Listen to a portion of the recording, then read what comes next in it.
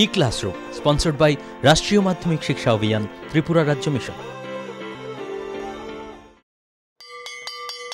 মাধ্যমিক স্তরের শিক্ষার গুণগত মানকে সুনিশ্চিত করার লক্ষ্যে রাষ্ট্রীয় মাধ্যমিক শিক্ষা অভিযান, ত্রিপুরা রাজ্য মিশন, কর্মরত মাধ্যমিক স্তরের শিক্ষক ও বিদ্যালয় প্রধানদের প্রশিক্ষণ, বিজ্ঞান শিক্ষণ সামগ্রী প্রদান, ছাত্রীদের আত্মরক্ষামূলক প্রশিক্ষণ মেধায় পিছিয়ে পড়া ছাত্রছাত্রীদের বিশেষ শিক্ষাদান, প্রতিবন্ধীদের জন্য অনুদান, রাজ্যে কলা উৎসব আয়োজন সহ অন্যান্য কর্মসূচি রূপায়ণ করছে।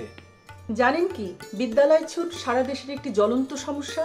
এই সমস্যা সমাধানে রাষ্ট্রীয় মাধ্যমিক শিক্ষা অভিযানের উদ্যোগে আগামী পয়লা জানুয়ারি থেকে সপ্তাহব্যাপী বিদ্যালয় ফিরে চলো কর্মসূচি গ্রহণ করা হয়েছে। চোদ্দ থেকে ষোলো বছর বয়সী সমস্ত ছেলে মেয়েদের মাধ্যমিক শিক্ষা সম্পূর্ণ করার জন্য আপনারা সবাই এগিয়ে আসুন। মাঝপথে যারা লেখাপড়া ছেড়ে দিয়েছ বন্ধুরা, তোমরা বিদ্যালয়ে আবার ফিরে এসো। রাষ্ট্রীয় মাধ্যমিক শিক্ষা অভিযান।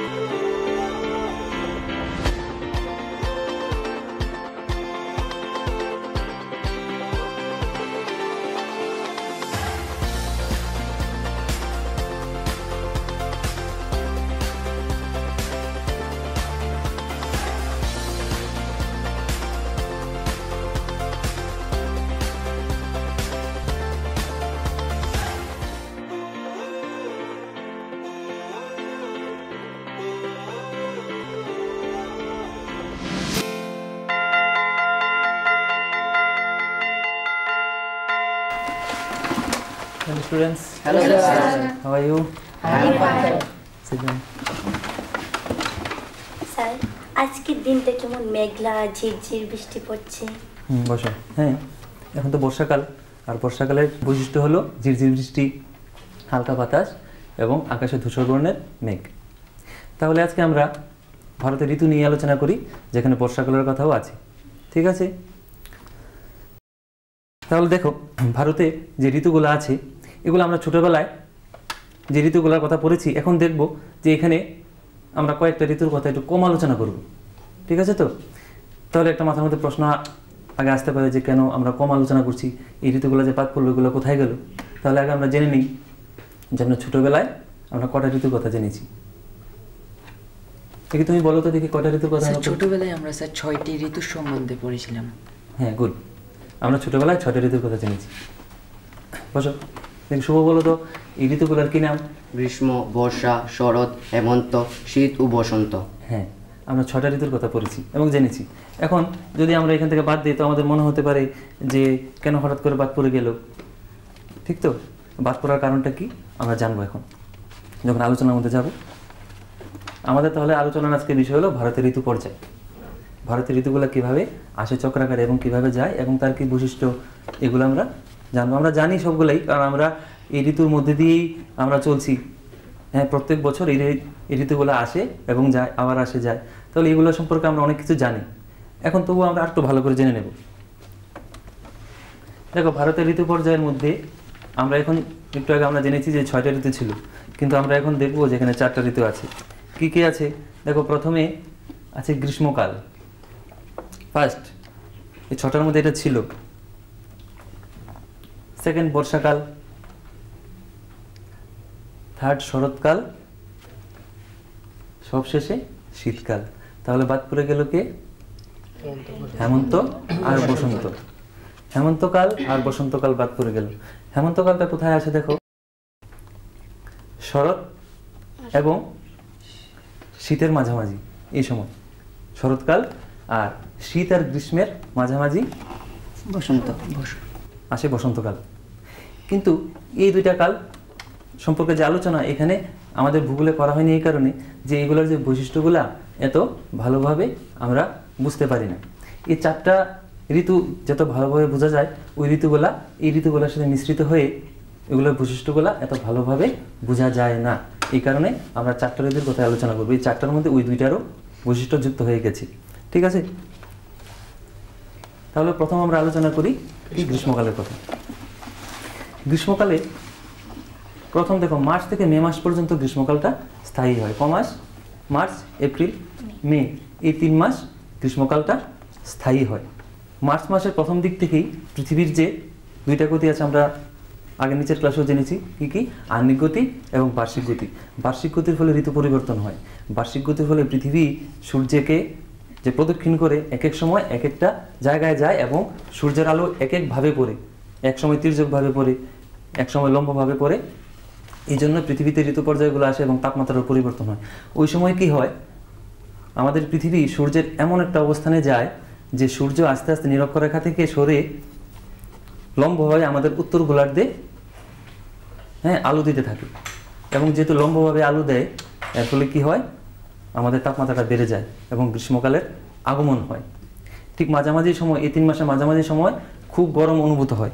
সেই সময় আমাদের ভারতবর্ষে সর্বোচ্চ তাপমাত্রা হয়ে যায় থার্টি এইট থেকে ফোরটি ডিগ্রি সেন্টিগ্রেড সারা ভারতে তুমি যদি আলাদা আলাদাভাবে যদি আমরা দেখি, যেমন আমাদের ত্রিপুরাতে তো ফোরটি ডিগ্রি সেন্টিগ্রেড কিন্তু হয় না, অনেক কম থাকে। এটা হলো গড়। সারা ভারতের যদি ধরি, কোথাও বেশি, কোথাও কম এরকমভাবে যদি ধরি, তাহলে থার্টি এইট থেকে ফোরটি ডিগ্রি সেন্টিগ্রেডের মধ্যে থাকে। এখন শুধু আমাদের ত্রিপুরার কথা যদি আলোচনা করি, তাহলে দেখা যায় এখানে একটু কম হয়। হ্যাঁ থার্টি থেকে থার্টি থ্রি ডিগ্রি সেন্টিগ্রেড পর্যন্ত থাকে ওই সময় তাপমাত্রা আমাদের। আবার এর থেকে বেশিও হয় কোনো জায়গায়, যেমন ধরো রাজস্থানের যে মরুভূমি অঞ্চল, সেখানে দেখা যায় প্রায় ফোরটি এইট ডিগ্রি সেন্টিগ্রেড পর্যন্ত তাপমাত্রা হয়। এই সময় নিম্নচাপের সৃষ্টি হয়। নিম্নচাপের সৃষ্টি বলতে কী বোঝায়? দেখো, কোনো অঞ্চলে তাপমাত্রা যখন খুব বেশি পরিমাণে বেড়ে যায়, তখন ওই জায়গায় বায়ুটা হালকা হয়ে উপরে উঠে যায় এবং এখানে একটা শূন্য স্থান সৃষ্টি হয় এবং এই অবস্থাটাকে বলা হয় নিম্নচাপ। তখন ভারতের বিভিন্ন অঞ্চলে, বিশেষ করে মরুভূমি অঞ্চলে, রাজস্থানের মরুভূমি অঞ্চলে এই নিম্নচাপটা প্রবল পরিমাণে সৃষ্টি হয়। তাছাড়া ভারতের অন্যান্য অঞ্চলগুলোতেও তাপমাত্রা অনুসারে এই নিম্নচাপের সৃষ্টি আমরা লক্ষ্য করে থাকি। এই সময় লু বায়ু প্রবাহিত, লু বায়ু মানে একটা গরম বাতাস। বিশেষ করে গুজরাট, রাজস্থান এইসব অঞ্চলে এই বায়ুটা প্রবাহিত হয়। খুব গরম একটা তাপমাত্রা সম্পন্ন একটা বায়ু প্রবাহিত হয়, পশ্চিম দিক থেকে এটা প্রবাহিত হয় এবং এর ফলে ওইসব অঞ্চলের মানুষকে খুব সাবধানে থাকতে হয়। হ্যাঁ গ্রীষ্মকালে যদি শরীরে লাগে আমাদের শরীরের অনেক ক্ষতি হতে পারে এবং কি মানুষের মৃত্যু পর্যন্তও হ্যাঁ হতে পারে। ওই সময় আরেকটা জিনিস যেটা হয় গ্রীষ্মকালে গ্রীষ্মকাল তো সাধারণত বৃষ্টি হয় না কিন্তু তবু কোনো কোনো সময় কালবৈশাখী ঝড় হয়। আমাদের এখানে এটাকে কালবৈশাখী বলা হয়। আমাদের ত্রিপুরা এবং পশ্চিমবঙ্গ এইসব অঞ্চলে কালবৈশাখী বলা হয়। ভারতের বিভিন্ন অঞ্চলে এটা বিভিন্ন নামে পরিচিত। দক্ষিণ ভারতে এটা কি নামে পরিচিত কে বলতে পারো? হাত তুলো দেখি। আম্রবৃষ্টি। হ্যাঁ আম্রবৃষ্টি নামে এটা পরিচিত। ঝাড়খণ্ড বিহারে এটা কি নামে পরিচিত? দেখি মেয়েদের থেকে কে বলতে পারো? দেখি লাস্ট টেন্স তুমি বলো। আন্ধি। হ্যাঁ আধি নামে পরিচিত। কারণ কি? হ্যাঁ এত বেশি মেঘ হয় যে একদম অন্ধকার হয়ে যায়। আকাশ একদম অন্ধকার রাতের মতো অন্ধকার হয়ে যায়। এই কারণে বলা হয় আন্ধি। এরকম ভারতের বিভিন্ন অঞ্চলে এটা বিভিন্ন নামে পরিচিত। তো এই ঝড়টা কেন হয়? দেখা যায় হঠাৎ করে এত তাপমাত্রা বেড়ে যায় যে কোনো একটা অঞ্চলের গভীর নিম্নচাপের সৃষ্টি হয়। সাময়িককালের জন্য একটা আঞ্চলিক হ্যাঁ স্থানীয় একটা নিম্নচাপ সৃষ্টি হয়।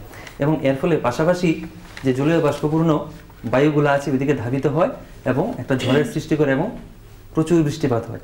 আমাদের এখানে কালবৈশাখী নামে এটা পরিচিত পশ্চিমবঙ্গ এবং ত্রিপুরাতে এবং আমাদের যে পার্শ্ববর্তী রাষ্ট্র আছে বাংলাদেশ, এই অঞ্চলেও এই ঝড়ের ফলে প্রচুর ক্ষয়ক্ষতি হয়। আমরা দেখেছি যে আমরা কিছুদিন আগে যে গ্রীষ্মকালটা পেরিয়ে আসলাম, ওই সময় এই বছর প্রচুর ঝড় হয়েছে। এই ঝড়গুলো ছিল কি কালবৈশাখীর ফল এইগুলো কালবৈশাখীর ঝড় ছিল। এই হলো আমাদের গ্রীষ্মকালের মানে যে পাঁচটা বৈশিষ্ট্য আমরা আলোচনা করলাম শুধু যে এই পাঁচটা বৈশিষ্ট্যের মধ্যে সীমাবদ্ধ তা না। হ্যাঁ আরও কিছু আছে। এখন তুমি বলতে পারো যে স্যার এবার তো খুব বেশি পরিমাণে ঝড় হলো হ্যাঁ, গত বছর তো এত বেশি পরিমাণে ঝড় হয়নি। আবহাওয়া সবসময় পরিবর্তনশীল। এবার হয়তো ঝড় হওয়ার যে যে কারণগুলা এগুলো বেশি ছিল। এই কারণে ঝড় বেশি হয়েছে। ঠিক যে আগামী বছর যে ঠিক একই পরিমাণে ঝড় হবে তা না আবার বেশিও হতে পারে। অর্থাৎ আবহাওয়া সবসময় পরিবর্তনশীল। আমরা যেগুলো বললাম এগুলো হলো গড়। একটা অবস্থা।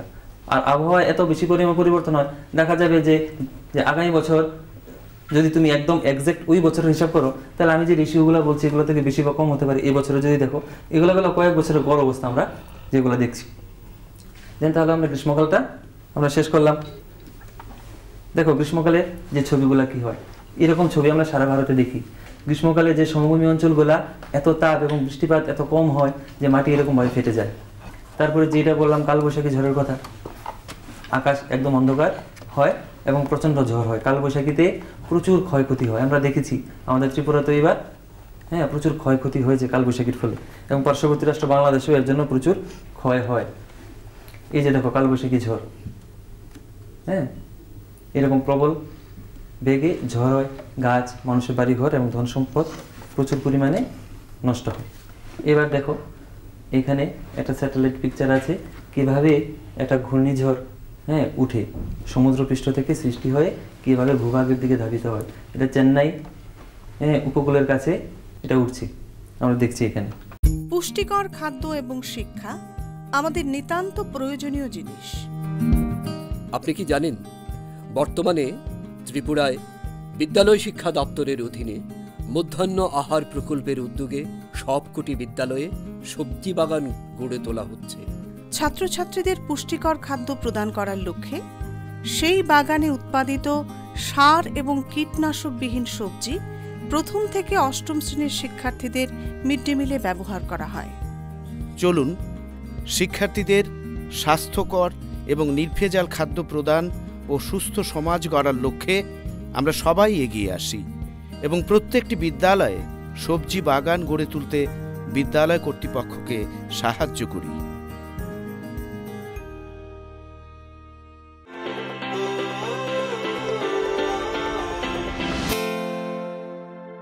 নেক্সট আমরা চলে যাই বর্ষাকালে। যেটা এখন চলছে যেটা কথা দিয়ে হ্যাঁ, নিশা শুরু করেছিল আমাকে যেটা বলেছিল। হ্যাঁ তাহলে বর্ষাকালে আমরা চলে যাই। বর্ষাকালের স্থায়িত্ব এই চারটা ঋতুর মধ্যে সবচেয়ে বেশি। জুন থেকে সেপ্টেম্বর মাস। ক মাস হলো তাহলে? জুন, জুলাই, আগস্ট, সেপ্টেম্বর, চার মাস। বর্ষাকাল এই চার মাস স্থায়ী হয়। এবং আমাদের ভারতবর্ষ এই বৃষ্টিপাতের উপর অনেকাংশে নির্ভরশীল। আমাদের ভারতবর্ষ একটা কৃষি প্রধান দেশ, আমরা জানি সবাই। এবং এই বৃষ্টিপাতের উপর ভিত্তি করে ভারতের বিভিন্ন অঞ্চলে বিভিন্ন ফসল হয়। এবং বৃষ্টিপাত যদি কম হয়, তাহলে এটার একটা প্রভাব আমাদের অর্থনীতিতে উপরে তোমাদের অর্থনীতির পাতা আছে। তোমাদের হ্যাঁ সিলেবাসে আছে অর্থনীতি চ্যাপ্টারে এই যদি বৃষ্টিপাত ঠিকমতো না হয়, বেশি হয় অথবা কম হয়, তাহলে এটার একটা গভীর প্রভাব আমাদের অর্থনীতির উপর পড়ে। তাহলে বর্ষাকালটা আমাদের খুবই গুরুত্বপূর্ণ একটা কাল।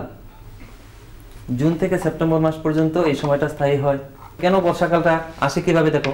গ্রীষ্মকালে প্রচণ্ড তাপের ফলে যে নিম্নচাপের সৃষ্টি হয়েছে ভারতের বিভিন্ন অঞ্চলে, ওইটাকে পূরণ করার জন্য সুদূর ভারত মহাসাগর থেকে দক্ষিণ পশ্চিম মৌসুমী বায়ু ভারতের মূল ভূখণ্ডের দিকে ধাবিত হয়, এগিয়ে আসে, অগ্রসর হয়। এবং এটা দুটা শাখায় ভাগ হয়ে যায়। ভারত মহাসাগর থেকে দুটা শাখায় বিভক্ত হয়। একটা হলো আরব সাগরীয় শাখা, আরেকটা বঙ্গোপসাগরীয় শাখা। আরব সাগরীয় যে শাখাটা, এটা মহারাষ্ট্র, গুজরাট উপকূল দিয়ে বৃষ্টিপাত শুরু করতে করতে মধ্যপ্রদেশ, উত্তরপ্রদেশ, রাজস্থানের কিছু অংশ, পাঞ্জাব, এইসব অঞ্চলে বৃষ্টিপাত ঘটায়। আর বঙ্গোপসাগরীয় শাখাটা পশ্চিমবঙ্গ, উড়িষ্যা, আমাদের পার্শ্ববর্তী রাষ্ট্র বাংলাদেশের উপর দিয়ে উঠে উত্তর পূর্বাঞ্চল, বিহার, ঝাড়খণ্ড, পশ্চিমবঙ্গ, উড়িষ্যা এইসব অঞ্চলে বৃষ্টিপাত ঘটাতে থাকে। এর মধ্যে সবচেয়ে বেশি বৃষ্টিপাত ঘটায় আমাদের উত্তর পূর্বাঞ্চলে। আমাদের উত্তর পূর্বাঞ্চলীয় অঞ্চলে সবচেয়ে বেশি বৃষ্টিপাত হয় এই দক্ষিণ পশ্চিম মৌসুমী বায়ুর ফলে। এর ফলে যে বৃষ্টিপাত হয়, উত্তর পূর্ব ভারতে দুশো সেন্টিমিটারের বেশি বৃষ্টিপাত হয়। উত্তর পূর্ব ভারত মানে আমাদের এখানে। অর্থাৎ আমাদের ত্রিপুরা, আসাম, মণিপুর হ্যাঁ নাগাল্যান্ড এইসব অঞ্চলগুলোতে যদি আমরা ধরি, গড়ে প্রায় দুশো সেন্টিমিটারেরও বেশি বৃষ্টিপাত হয়, যেখানে আমাদের ত্রিপুরাতে দুশো পঁচিশ সেন্টিমিটারের বেশি হয়।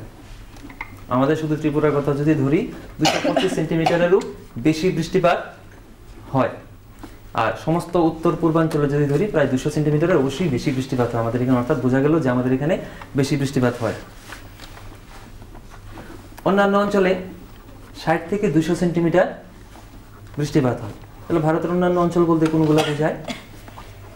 অন্ধ্রপ্রদেশ উত্তরপ্রদেশ বা দক্ষিণ ভারতের বিভিন্ন অংশ এসব অঞ্চলে। তাও একটু আগে যে বললাম যে সবখানে একরকম থাকে না। এবার যদি ভাগ করি যে কোথাও দেখা যায় খুবই কম হয়। যেমন ধরো ভারতের অংশ জম্মু কাশ্মীর, ওইখানে ধরতে গেলে প্রায় বৃষ্টিপাত হ্যাঁ ষাট সেন্টিমিটারেরও কম হয়। তারপরে আবার যে আছে রাজস্থান, রাজস্থানের মরু অঞ্চল, সেখানে ষাট সেন্টিমিটারের হ্যাঁ কম বৃষ্টিপাত হয়। কিন্তু এটা যদি গড় করি, ষাট থেকে দুশো সেন্টিমিটারের মতো বৃষ্টিপাতের মধ্যে থাকে ভারতের অন্যান্য অঞ্চলগুলো। আবার ওই সময় বৃষ্টিপাতের ফলে দেখা যায় যে গ্রীষ্মকালে যে প্রচণ্ড গরমটা ছিল, সেটা হ্যাঁ থাকে না। এটা কমে তখন বিশ থেকে পঁচিশ ডিগ্রি সেন্টিগ্রেডে দাঁড়ায়। দক্ষিণ ভারতে বৃষ্টিপাতের পরিমাণ একই রকম থাকে, ষাট থেকে দুশো সেন্টিমিটারে। তাও উত্তর ভারতেও যেমন কোনো কোনো অঞ্চলে বেশি বৃষ্টিপাত হয়, আবার কম হয়, দক্ষিণ ভারতে এরকম আছে। আঞ্চলিকভাবে এখানে আলোচনা করা হলো না, তাই হ্যাঁ তোমাদের মনে হতে পারে, স্যার, কোনো কোনো অঞ্চলে তো খুব বেশি বৃষ্টিপাত হয়। যেমন ধরো মৌসিনরামের কথা আমরা জানি, একটু পরে আমরা আলোচনাতে যাব মৌসিনরামে মৌসিনরামে তিনশো সেন্টিমিটারও বেশি বৃষ্টিপাত হয়। এটা কিন্তু হ্যাঁ আমাদের উত্তর পূর্বাঞ্চলের অংশ হ্যাঁ মেঘালয়ের অংশ। কিন্তু মৌসিনরাম ছোট একটা অঞ্চল, ওই অঞ্চলে যে বৃষ্টিপাত হয়, সমস্ত উত্তর পূর্বাঞ্চলে তো এত পরিমাণে হয় না। তাহলে আমরা যখন গড় করি ঠিক আছে? তখন তাপমাত্রা বিশ থেকে পঁচিশ ডিগ্রি সেন্টিগ্রেডে এসে দাঁড়ায়। কারণ বৃষ্টিপাতের ফলে আবহাওয়াটা ঠান্ডা হয় এবং তাপমাত্রাটা কমে যায়। এবার শুধু উত্তর পূর্বাঞ্চলের কথা যদি আমরা ধরি, উত্তর পূর্বাঞ্চলে একটা জায়গা, মেঘালয়ের কি মৌসিনরাম এখানে প্রায় তিনশো সেন্টিমিটারের বেশি বৃষ্টিপাত হয় এবং এটা পৃথিবীর সবচেয়ে বেশি বৃষ্টিপাতযুক্ত অঞ্চল। এবার আমরা দেখি যে কেন বৃষ্টিপাত হয় তাহলে মৌসিনরাম আমাদের উত্তর পূর্বাঞ্চলে হ্যাঁ একটা অঞ্চল। তাহলে কেন ওইটার মধ্যে বেশি বৃষ্টিপাত হয়? আমরা এটা আলোচনা করি। এটা বেশি বৃষ্টিপাত হওয়ার কারণ হলো এটা অবস্থান। এটা কোথায় অবস্থিত? মেঘালয়ের যে মালভূমি অঞ্চল সেখানে মেঘগুলা দক্ষিণ দক্ষিণ পশ্চিম মৌসুমী বায়ুর বঙ্গোপসাগরীয় শাখাটা যখন উঠে তখন প্রথম এটা মেঘালয়ের মালভূমি অঞ্চলে বাধাপ্রাপ্ত হয়। এবং বাধাপ্রাপ্ত হয়ে আমরা একটা বোর্ড ওয়ার্কের মাধ্যমে আমরা দেখি।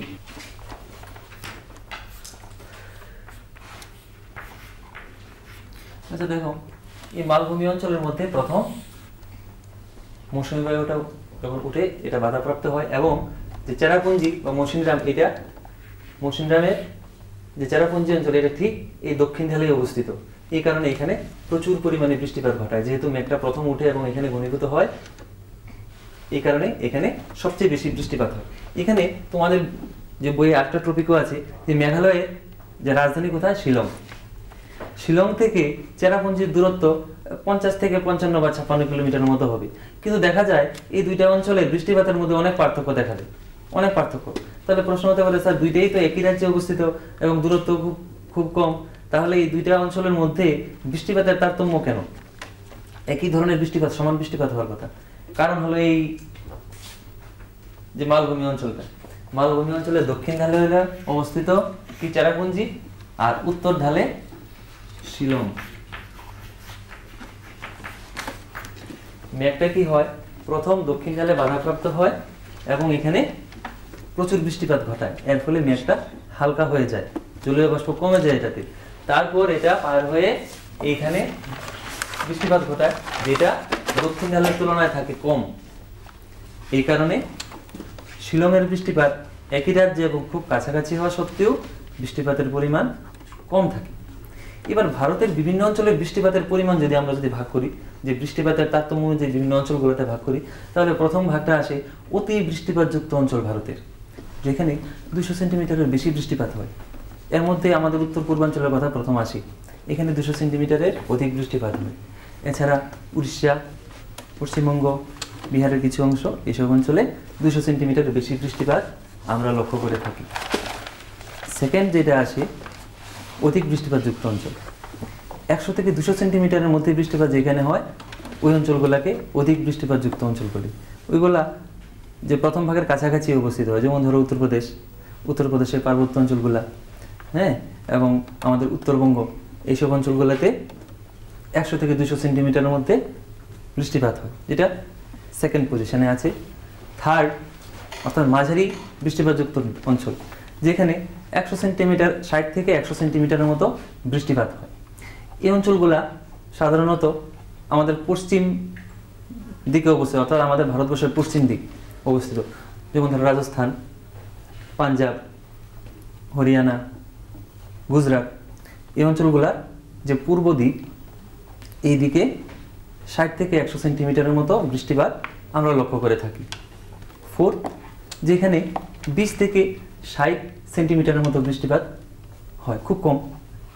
এটা হয় সাধারণত গুজরাট, রাজস্থান, পাঞ্জাবের কোন দিকে? পশ্চিম দিকে। অর্থাৎ পশ্চিম অংশে এই বৃষ্টিপাতটা হয়ে থাকে খুব কম। ধরতে গেলে, আমাদের অন্যান্য ভারতের অন্যান্য রাজ্যগুলোর তুলনায় এটা খুবই নগণ্য। এর থেকেও কম আছে। অতি স্বল্প বৃষ্টিপাত যুক্ত অঞ্চল, যেখানে বিশ সেন্টিমিটারের কম বৃষ্টিপাত হয়। জম্মু কাশ্মীরের লাদাখ অঞ্চল। আমরা শুনেছিলাম তোমরা টিভিতে দেখেছ, তোমাদের ছবি আছে, বইয়ের মধ্যে ছবি আছে ওইখানে। বৃষ্টিপাত বিশ সেন্টিমিটারেরও কম হয়। তাছাড়া রাজস্থানের যে মরু অঞ্চল, সেখানে বিশ সেন্টিমিটারের কম বৃষ্টিপাত আমরা লক্ষ্য করতে থাকি। হ্যাঁ লক্ষ্য করে থাকি। এবং এই কারণে এখানে আমরা দেখি যে মরুভূমি এবং ক্যাক্টার জাতীয় কিছু গাছ হয়, মানুষজন বসবাস ওইখানে হয় না, করে না। তাহলে এবার আমরা চলে যাই দেখো, আমাদের যে মনসুন অর্থাৎ আমাদের মৌসুমী বায়ু যে ঢুকে এটা একটা ছবি আমাদের এখানে আছে। দেখো, নিচের দিকটা হলো ভারত মহাসাগর। বাম দিকে আরব সাগর, ডান দিকে বে অফ বেঙ্গল অর্থাৎ বঙ্গোপসাগর। তাহলে দেখো, আমরা পড়েছি যে দুইটা শাখায় বিভক্ত হয়ে ঢুকে। দেখো, আরব সাগর থেকে ভাগ করা, দেখো, এরকম রেখা টানা আছে কীভাবে মৌসুমী বায়ুটা ঢুকছে। তাহলে আমরা দেখছি যে মহারাষ্ট্র উপকূল দিয়ে, গুজরাট উপকূল দিয়ে কীভাবে ঢুকছে এবং সমস্ত মধ্য এবং উত্তর ভারতে এই রেখাটা বিস্তার লাভ করেছে অর্থাৎ বৃষ্টিপাত ঘটাচ্ছে। আবার আরেকটা শাখা দেখো বঙ্গোপসাগর থেকে আমাদের পার্শ্ববর্তী রাষ্ট্র বাংলাদেশ এবং পশ্চিমবঙ্গের উপর দিয়ে ঢুকে উত্তর পূর্বাঞ্চল এবং ভারতের হ্যাঁ উত্তর অঞ্চলে উত্তর দিকে বৃষ্টিপাত ঘটাচ্ছে। এইভাবে আমাদের মৌসুমী বায়ুটা ভারতবর্ষে ঢুকে এবং বৃষ্টিপাত ঘটায়। তো বৃষ্টিপাতের ছবি দেখো এটা আমাদের খুব প্রচলিত আমাদের খুব পরিচিত একটা হ্যাঁ, ছবি ছাতা মাথায় ঘোরা বৃষ্টির মধ্যে। হ্যাঁ তোমরা স্কুলে আসো ছাতা মাথায় দিয়ে, তারপরে যে কালটা আসে, এটা হলো শরৎকাল। চারটা কালের মধ্যে যে চারটা কাল আলোচনা করব, এর মধ্যে সবচেয়ে মনোরম, দৃশ্যপূর্ণ কাল হলো শরৎকাল। শরৎকাল খুব মনোরম তো, এই কারণে তার স্থায়িত্বটাও খুব কম, মাত্র দুই মাস। সুন্দর জিনিস কম স্থায়ী হয়। কত মাস? মাত্র দুই মাস। এই দুই মাসের মধ্যে বর্ষা তখন বিদায় নিতে থাকে দক্ষিণ পশ্চিম মৌসুমী বায়ু তখন ফিরতে থাকে। আকাশ মেঘমুক্ত হয়ে যায়। একদম মেঘমুক্ত হয় না। আমরা ছবিতে দেখব পরবর্তী সময়ে হালকা মেঘ থাকে, মেঘগুলো সাদাটে থাকে, বেশিরভাগ সময় আকাশ পরিষ্কার থাকে এবং খুব সুন্দর একটা প্রাকৃতিক মনোরম দৃশ্য আমাদের চারপাশে আমরা দেখি। ওই সময় একটা জিনিস যা হয়, কোনো কোনো সময় তাপমাত্রা সাময়িক বৃদ্ধি পায়। বর্ষাকালে হ্যাঁ বর্ষাকালে যে তাপমাত্রাটা বৃদ্ধি পেয়েছিল বা গ্রীষ্মকালে যে বৃদ্ধি পেয়েছিল, ওই সময় এটা আস্তে আস্তে কমতে থাকে এবং যেহেতু আকাশ মেঘমুক্ত হয়, হঠাৎ কোনো কোনো সময় এটা বেড়ে যায় এবং এর ফলে কি হয়? এর ফলে মাঝে মাঝে ঝড় হয়, যেটাকে বলে কি? সাইক্লোন বা আমাদের এখানে এটাকে বলা হয় আশ্বিনের ঝড়। ঠিক আছে? নেক্সট এই দেখো আমাদের ছবি আছে শরৎকালে, খুব পরিচিত একটা ছবি হ্যাঁ কাশফুলের ছবি। শীতকাল। শেষ সময় ঋতুর যে লাস্ট আলোচনা আমরা করব, এটা হলো শীতকাল। ডিসেম্বর থেকে ফেব্রুয়ারি মাস পর্যন্ত এটা স্থায়ী হয়। ডিসেম্বর থেকে ফেব্রুয়ারি মাস কমাস তাহলে? ডিসেম্বর, জানুয়ারি, ফেব্রুয়ারি। এই তিন মাস এটা স্থায়ী হয়। ওই সময় ভারতের উপর দিয়ে একটা মৌসুমী বায়ু প্রবাহিত এটার নাম হলো উত্তর পূর্ব মৌসুমী বায়ু। উত্তর পূর্ব মৌসুমী বায়ু সাধারণত শুষ্ক ও শীতল হয়। উত্তর ভারতে তখন যে গড় যে তাপমাত্রাটা দাঁড়ায়, দশ থেকে পনেরো ডিগ্রি সেন্টিগ্রেড, খুব কম। আমাদের ত্রিপুরার ক্ষেত্রে এটা হয় ছয় থেকে এগারো ডিগ্রি সেন্টিগ্রেড, খুব কম হয়। ওই সময় ভারতে বৃষ্টিপাত হয় না বললেই চলে। তবে কোনো কোনো সময় করমণ্ডল উপকূলে কিছু বৃষ্টিপাত হয়। কারণ এই বায়ুটা যখন বঙ্গোপসাগরের উপর দিয়ে প্রবাহিত হয় তখন কিছু জলীয় বাষ্প হ্যাঁ, বঙ্গোপসাগর থেকে নিয়ে যায় সাথে করে এবং ওইখানে কিছু বৃষ্টিপাত হয়। কিন্তু ভারতের অন্যান্য অঞ্চলগুলো ওই সময় খুব শুষ্ক থাকে। আবার ওই সময় উত্তর ভারতে বিশেষ করে জম্মু কাশ্মীর হিমাচল প্রদেশে একটা বৃষ্টিপাত হয় যেটাকে বলা হয় পশ্চিম ঝঞ্ঝা। অর্থাৎ পশ্চিম দিক থেকে ভূমধ্য সাগরীয় অঞ্চল থেকে কিছু জলীয় বাষ্পপূর্ণ বায়ু আমাদের ভারতবর্ষের দিকে অর্থাৎ আমাদের দিকে ধাবিত হয় এবং কিছু পরিমাণে বৃষ্টিপাত ঘটায়। এবং যেহেতু পশ্চিম দিক থেকে আসে, এই কারণে এটাকে বলা হয় পশ্চিম ঝঞ্ঝা বা পশ্চিম কি ঝামেলা। এই দেখো আমাদের শীতকালের ছবি। এটা এই যে দেখো দিল্লির একটা ছবি কেমন ঘন কুয়াশা পড়ছে। আচ্ছা তাহলে আজকে ক্লাস এখানেই শেষ, কারণ আমাদের সময় শেষ। আমাদের যদি এ সম্পর্কে কোনো প্রশ্ন থাকে, তাহলে আমরা আগামী ক্লাসে এটা সম্পর্কে আলোচনা করে এগুলো সবগুলো বুঝে নেব। ঠিক আছে ধন্যবাদ।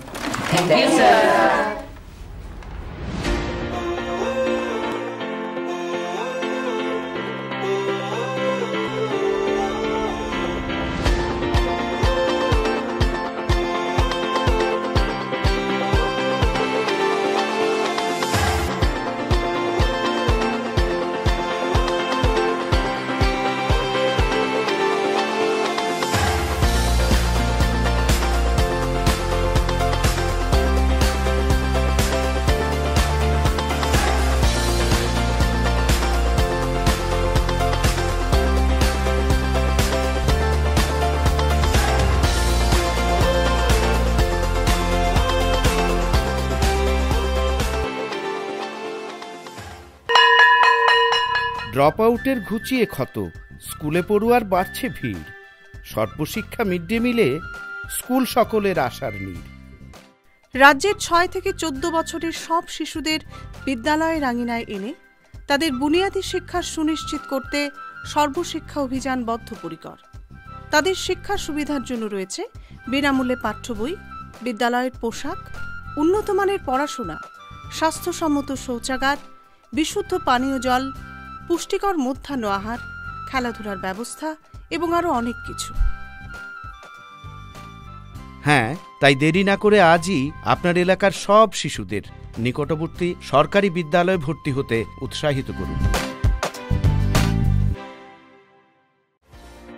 E classroom was sponsored by Rashtriya Madhyamik Shiksha অভিযান ত্রিপুরা রাজ্য মিশন।